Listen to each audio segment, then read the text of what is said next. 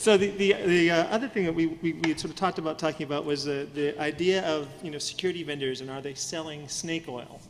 Um, and you know what, do- what do you think? I mean, is, is the AV market really you know not very effective? Intrusion detection, all the, the kind of areas and sectors within security.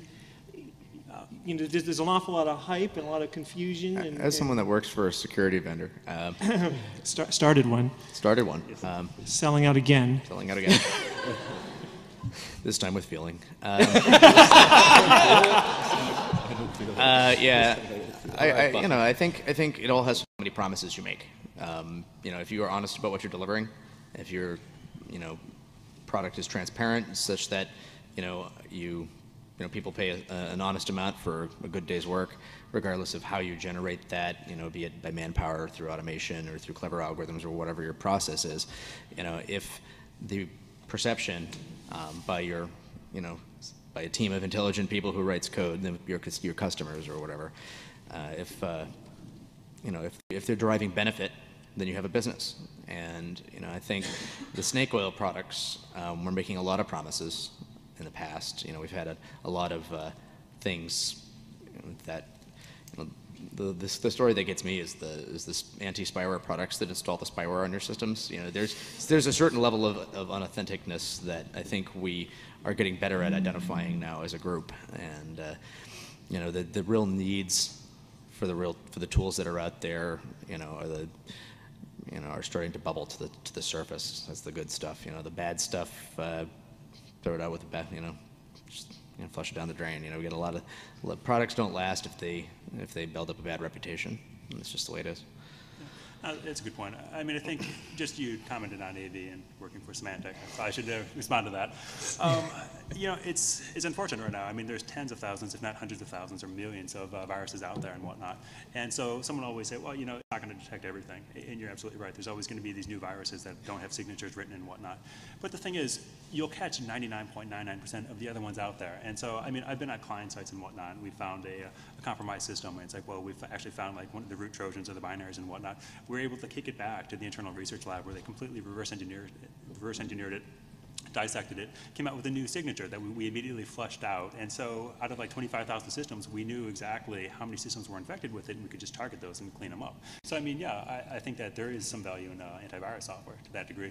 I mean, will it prevent everything, uh, prevent uh, attacks uh, against every uh, uh, thing out there? No, absolutely not. But it does a good job at what it does.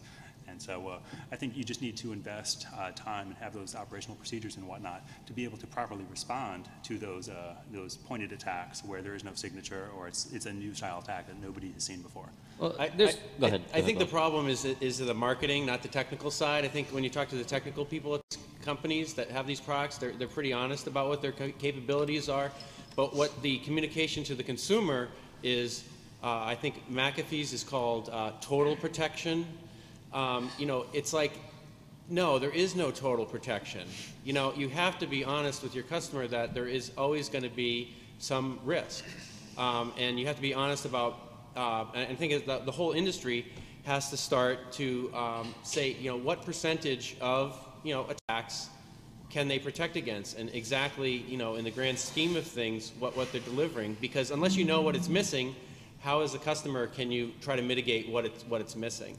And so it's really, um, you know, all technology has limitations, and you know, I think the marketing just has to be a little more honest. Well, Do- I've, do I've got an issue. I, I, I want to chime in here on a second. Um, yeah, I agree with what's being said there, but one of the things that nobody seems to be pointing out is what sort of vulnerabilities are these solutions introducing to the systems themselves? I don't know. I can't tell you how many systems that I've broken into that I've used the port and the and the and the application that is the antivirus listening for its updates in order to compromise the system. So yes, they're protecting against certain things, but these people protecting against other vulnerabilities in code oftentimes aren't looking at the security of their own code themselves. And this is Yeah, well, I, I actually um, uh, went to a talk by um, Sinan um, from Immunity earlier, and he went through about how um, Immunity uh, penetrated a very, very secure organization. They did a, a long-term analysis of how are they going to try to get in before they got in, and they determined that the, the weakest point in the whole organization was the antivirus mail gateway. That was, that, was, that was the weak point. That was the point that you used to get in. They decided that that was what they were going to attack, and they attacked it, and guess what? They got in. And it, it's not just the antivirus stuff. Uh, Unfortunately, there was a trend for a while of doing these roll-ups of all these kind of disparate security solutions, and then trying to loosely bundle them together with some really bad glue, uh, glue logic and duct tape. And now you have all these extra moving parts and extra inflection points that, uh, as a complex system, com- complexity in the security field, you know, that's an anathema concept. You don't even have to worry about the complex systems. I mean, there's a recent case in point where there's a bunch of USB drives that were recently shipped uh, that used the RFID chip and security and encryption. And this was, you know, plastered all over the packaging. Secure, encryption, you know, true data with us. Um, come to find out, the encryption was really only used for the RFID chip. The data itself was simple XOR. So, it, th- and those sorts of things are on the market right now. And the end user consumer has really no way of knowing, has no way to believe that packaging, and there's no rules or regulations to control it. Well, and, and, and actually, I wanted, to- I wanted to actually, as our two IT people on the panel are our two sort of people working in companies who are, are being sold snake oil all the time. You know, Tan and, and, and SR, can you talk a bit about whether, maybe, whether there is more realism in what companies are presenting to you, at least in, in corporate environments, uh, and, and, you know, also what it's like to look at this whole sort of security uh, industry from that perspective of the people who are, are in fact trying to stay secure? Sure. Uh, I think like today, what I'm seeing, at least from financial industry in terms of snake oil, is one of the things that the, being forced on the banks, uh, regulation-wise, is uh, multi-factor authentication. The idea there is something you have and something you know, uh, like a SecurID type solution, right? And uh, what, what they've been doing is uh, these companies have been coming up with uh, software-only multi-factor authentication, which basically means there's a JavaScript that goes and looks at you know, profiles your computer, and that's the thing you have is this profile that's, you know, just generated through JavaScript, the same stuff you can call when you're exploiting them via cross-site scripting or, or whatever. So, um, to me, seemed really weird, and the reason is because there's a whole industry around this, you know, regulation to satisfy this need, and as long as people can just view it as like a checkbox or whatever, they're going to look for they're going to look for snake oil, something that's cheap, something that won't break. Um, uh, their operations because it's not really doing anything. And, and the auditors require that little checkbox still? Oh yeah, and and for some reason they have accepted it to date. So that's that to me is where the the snake oil is today. I think that I've seen.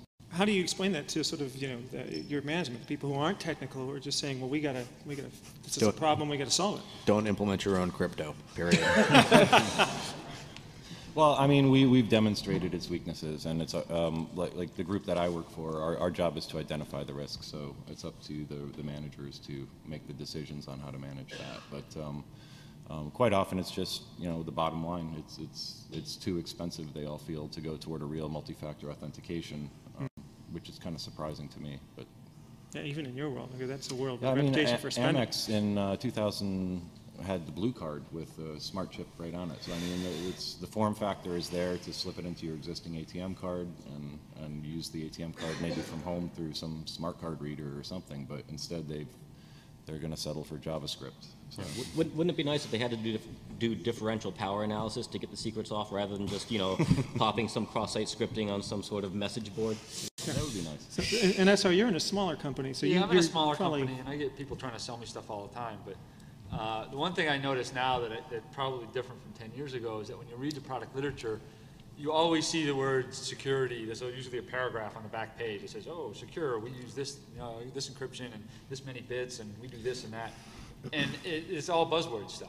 And as a consumer, as an end user, as a purchaser of this equip stuff, I have no idea what the hell is in it. I mean, yeah. So they're using 256-bit AES. What the hell does that mean? What, it, what part of the product are they using that in? How is they implementing it? Is it really as secure as they're claiming? I have nowhere to go to verify their claims. I, there, there's no rules that they have to say what their stuff is or what it does. Um, so while I think it's, it's, it's more, people are more aware of security now, um, especially in the marketing departments, uh, I don't think the education level of the people purchasing this stuff is high enough to know exactly what it is they're buying. Well, you're, you're, no you're you're saying that, that the vendors are basically putting the new and improved label on Right, it, and you don't know exactly. it's new or improved. So we're, we're almost out of time here. I wanted to ask a question and then open it, to, open it up a little bit to the audience. Um, so the last question is, is what makes you scared as hell?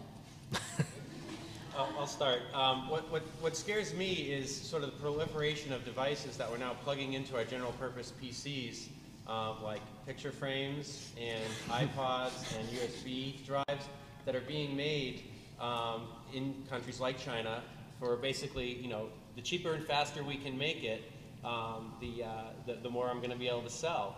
Um, that doesn't really make a high security device. And we've been seeing that these devices, we came up with this term last night, are coming certified pre-owned. so they're coming with backdoors on them, whether it's by